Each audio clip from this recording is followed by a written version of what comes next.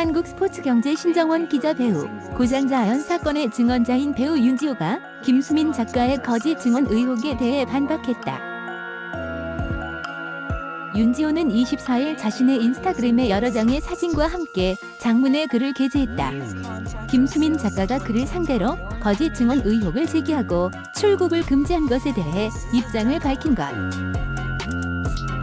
윤지호는 그를 통해 뭔가 단단히 착각하시는데 제가 범죄자입니까?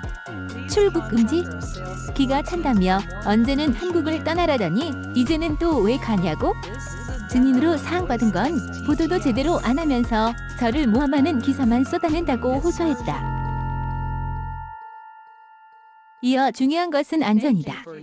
지금의 대한민국이 안전이 보장돼 보이냐고 반문. 그러면서 제가 죽어야 속이 편하신가 보다.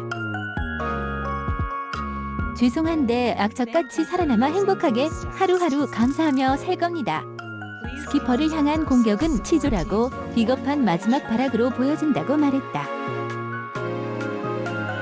앞서 윤지호의 책 출판을 도운 김수민 작가는 23일 윤지호를 상대로 고장자연 사건을 악의적으로 이용하고 있다고 주장하며 허위사실 적시에 의한 명예훼손, 모욕 등으로 고소했다. 이날 김수민 작가 법률 대리인인 박훈 변호사는 윤지호 씨가 고장자연 씨의 죽음을 이용하고 있다. 윤지호 씨는 정호 씨 성추행 이후에 본 것이 없다며 목숨 걸고 증언하고 있다는데 도대체 그 목숨 걸고 증언한 게 무엇인가?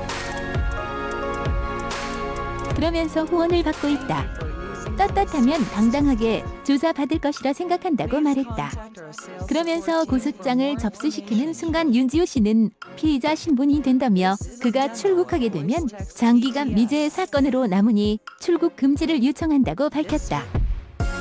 다음은 이와 관련 윤지호 인스타그램 글 전문이다.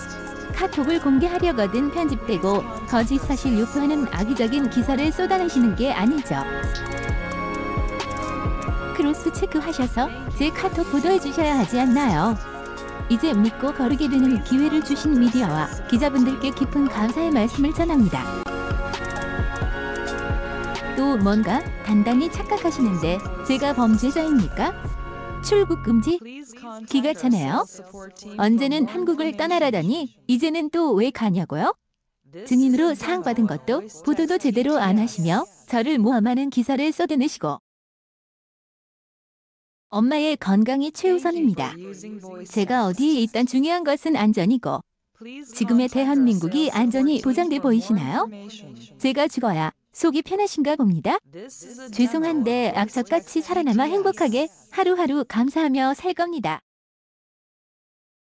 스피커를 향한 공격은 치졸하고 비겁한 마지막 발악으로 보여지군요. 이제야 더 명확하고 확실해져서 또한 감사드려요. 왔구나. 두려워하는구나. 한 나라의 대통령도 모함하며 언론 조작하더니 제가 그렇게 대단한 인물은 아니지만 이제 무섭고 두렵긴 하신가 봅니다.